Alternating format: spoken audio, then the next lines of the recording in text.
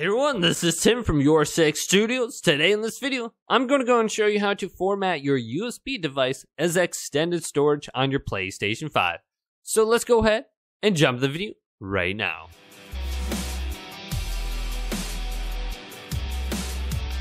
So it's very easy to format your USB device as extended storage. So if we go up to the top and go to settings, and then go on down to storage and select this option. Go to USB extended storage.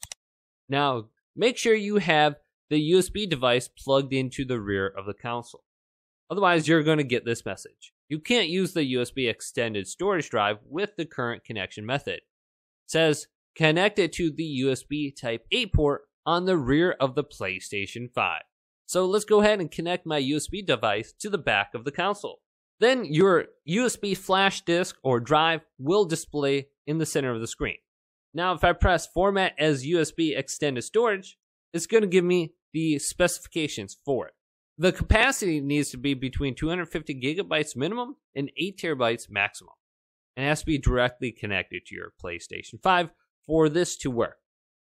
Now, if you are meeting those specifications, you will be able to install your PlayStation 4 games to the extended storage you won't be able to play PlayStation 5 games from your extended storage, but you can place them on there and then copy them back over to your SSD hard drive when you want to go ahead and play them. So you won't have to actually download them again. You just have to copy them back and forth. So hopefully this video did indeed help you out. If it did, go ahead and leave it a big thumbs up and subscribe to my channel down below for more tech out videos coming up next on Your Six Studios.